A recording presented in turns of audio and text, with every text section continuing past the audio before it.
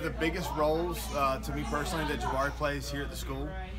Um, we have about uh, 70 special needs individuals, um, ranging from cerebral palsy, Down syndrome, um, uh, autism, and to me, I think the biggest thing is for other parents of those kids to be able to see that their child one day can grow up and have a job opportunity like Jabari has. He works really hard. He comes in every day. He'll clean the windows and wash down all the pads, the equipment um, help Stacy with whatever she needs, and then um, throughout classes he opens the door and closes the door for everybody. He says, "Welcome to Pooler Karate. Have a blessed day." You know, so he does a really good job.